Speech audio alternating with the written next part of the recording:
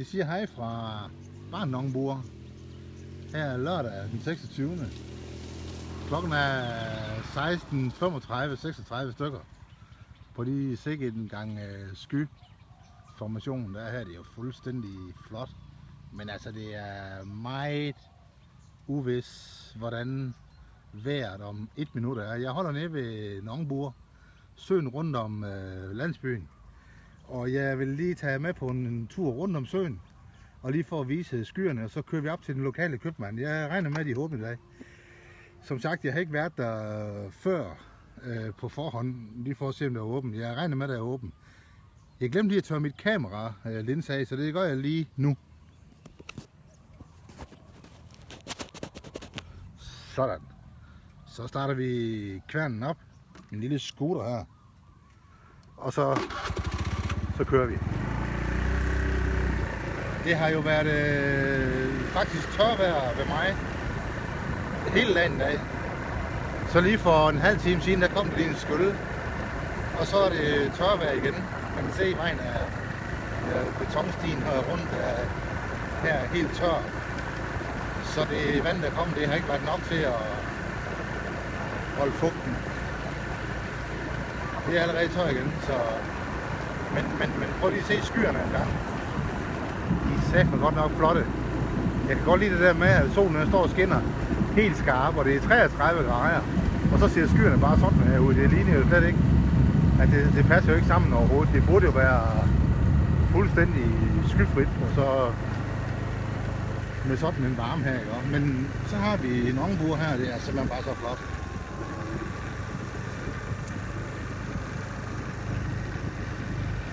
Vi kører rundt her, det er ligesom nærmest en, en allé at køre på. Og så prøv at se uh, himlen hen over kokospalmen der. Er det ikke fantastisk? Altså det er sådan nogle ting, jeg godt kan lide ved Thailand. Uh, det er det, man ser ud i deres natur. Det ser Thailand jo ikke selv, at det er noget specielt og kønt. Men det synes jeg er helt vildt flot. Faktisk, uh, jeg kan stå og kigge på det i, i flere minutter. Nu står jeg, stopper jeg lige her lige et øjeblik, for lige for at Solen står jo lige deroppe og stråler ned igennem hul i skylaget deroppe, ned over søen her. Og øh, rundt om søen på stien her, der er også sol. Så vi fortsætter lidt endnu. Så kommer vi rundt til en mand herovre, han har en grisefarm. Så det stinker altid lige, når man kører forbi her. Vender man sig selvfølgelig til. Det gør heller ikke noget, han skal. Han skal jo være her. Det derinde, bag det tag der, det er en lille grisefarm har sin... Nå, det er ikke så galt dag, som det tænker. Det kan godt være, at uh, han har udsolgt af sin gris. Her har han så et uh, bananplantage. Jeg tror, det er den samme mand. Det her banan, de får nok noget, noget svindelort og noget pis. De siger de jo, det skal være godt at gøde med. Igen nogle høje træer her, og øh, jeg har jo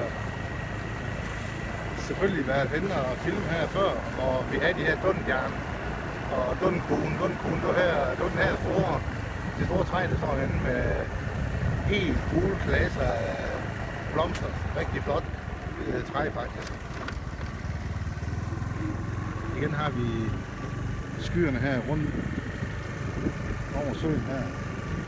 Jeg vil holde kameraet lidt fremad, så jeg også kan se, hvor jeg kører henad. Det var lige sådan en tur rundt om Nongbur Sø. Øh, her, hvor jeg bor så sådan. Turen rundt. Der kan man godt gå en tur rundt om, og cykle en tur rundt om, og tage en tur på kværnen her rundt om. Det er hyggeligt nok, faktisk. Nu vil jeg øh, tage jer med op til den lokale købmand. Den lokale købmand, det er et øh, lille varehus, vi har heroppe, som man kan købe de normale dagligvarer, altså ferske varer, og dåsevarer, og tørre varer, øh, alle mulige krydderier og sådan. Men det er den butik, som jeg har øh, et par ind på markedet mødt, mødt ham, der har et par han det, der handler ind til butikken her. Og det er selvfølgelig for alle de her øh, beboere, der ikke har mulighed for transport. Og jeg kan se, at han har åbent over. Så, altså, hvad er det kap? Og meget tager video 19 år. Der er en live så til bare nogle bord. Der er bundt som paro. เป็นไลฟ์สดที่บ้านหนองบัวตำบลสำเภาอุดรธานี i Thailand. Det var vist det hele. hele adressen her. Vi kan se, her har vi vunden. Det var det ครับไปไหนล่ะเคยเคยเจอกันอยู่ที่ตลาดลูกค้าอันคุณที่มาดูเขาก็รู้จักผู้ขายของที่นี่เพราะว่าเราเคยเจอกันที่ตลาด ใช่ไหมครับ ใช่ค่ะไม่ใช่แล้ว Her har vi øh, hele bordet med friske grøntsager.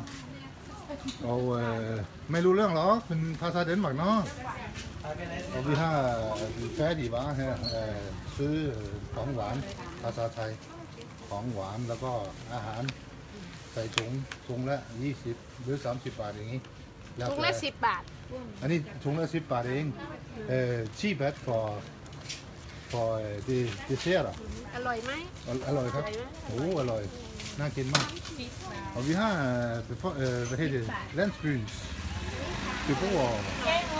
Det er ikke dyr og køn, ha? Det er gang อันนี้ขาหมูอร่อย og kammo, ที่เขาทำที่ตลาดเหรอ อร่อยนะ ผมเคยซื้ออยู่สองครั้งแล้ว อร่อยเขาทำอร่อยอร่อยด้วย เอ่อ det er jo den samme øh, inde på markedet i ปลา St. ดุก Frau, ย่างด้วย som øh, สิบ sælger บาท เอ้าต่อต่อปลาปลาตัวนึงสิบบาทเหรอ สิบบาท โอ้ขายได้ไงถูกจังเลยเหรอที่แบบก่อนที่ฟิสอินปลาดุกdet er jo det samme som vi ser inde i Nong Pajak der går ned i shop som øh, hun sælger her grill lige til at spise for 10 bat går du ข้างในนิดนึง så har vi her et forskellige daglige dagsvarer og øh, det er en ganske almindelig shop som øh, man kan købe dåser med, og olie og kaffe og forskellige produkter til dagligdagen. Og øh, der er med selv ej. Ah, der er søkrej. Søkrej. Hun er helt købt æg. Og øh, der er jo en masse forskellige mikroovne. Jeg er meget, meget glad i den gang. Og øh, så har vi drikkevarer. Køleskab med øl og sodavand og forskellige andre spændende produkter. Vi har frugter. Her er mangården, som vi kender. Det er jo den her dragefrugt, som vi lige fik sat på plads. Og der er vandmeloner, der er øh, lamjej. Forskellige, og vi har brød. Vi har lidt, lidt tørre sager til en kop kaffe. Og vi har en vægt, så vi kan se, hvor meget vi får skrabt sammen så har vi igen øh, landsbyens borgere, der kommer og køber. Det var det kap. Rundduk lav. Nu kan jeg se, at det begynder at skulle snart regne. Jeg synes, jeg kan mærke, at jeg lige fik et par dråber. Men øh, det er aldrig til at vide med vejret her i Thailand. Men det her, det var lige... Ja, man kan godt fiske i søen dernede, men det er kun én gang om året, hvor de har konkurrence. Eller jeg kan... Åh! Oh. อ้องุ่นสวยจังเลยทำไมลูกเล็ก อ๋อ เป็นพันอธุ์ร่อยด้วยไล่เม็ดนะเนี่ยไม่มีเม็ดอ๋อ นี่ไม่มีเม็ด อร่อยด้วย De her, det er stenfri øh, vindruer. De er rigtig søde, rigtig flotte. Sure, sure. ขายยังไงอะกิโลเท่าไหร่เจ็ดสิบบาเจ็ทดสิบบาท70 bat for et kilo øh, små vindruer uden sten i. สวยมาก Ri- Rigtig fint. Ja, sure, sure, sure. Sure, sure. มีหลายอย่าง อันนี้เขาเรียกวุ้นเนี่ย วุ้นนั้นมะพร้าวเหรอครับหรือวุ้นมะพร้าว วุ้นมะพร้าวเดี๋ยวซีเรียลฟอร์มของชิลอันลี่นี้สิบบาท เป็นฟอร์มของชิลลี่เหมือนเหมือนเจลลี่เหมือนเจลลี่เจลลี่เหมือนขนมเจลลี่ แต่เป็นขนมแต่เป็นประเภทขนมใช่ไหมครับใส่มะพร้าวอ่อน ใส่มะพร้าวอร่อยหวานใช่ไหมใส่มะพร้าวอ่อน Det er jo en, øh, Det er jo en øh, slags øh, øh kokosnød-gelé, som man bruger til dessert. Det smager rigtig godt. Og igen her kan man købe den samme pose som inde på markedet i San Francisco, som vi så på mine tidligere videoer. Det er de ting, de har her i San Francisco. Og så har vi en lille... En, en, en øh, flaske med benzin, man lige stopper her og køber 20 bat eller 40 bat.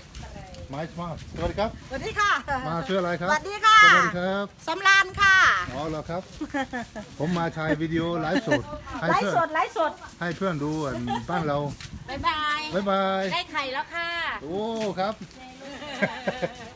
ระวังมันจะแตกครับ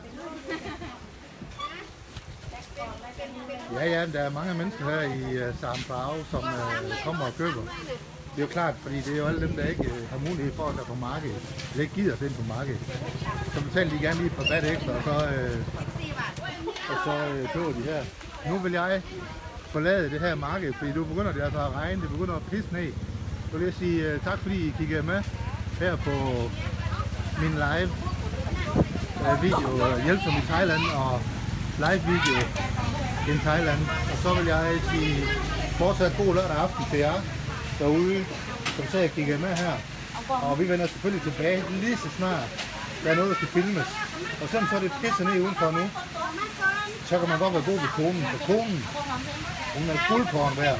Vi ses derude. Hej.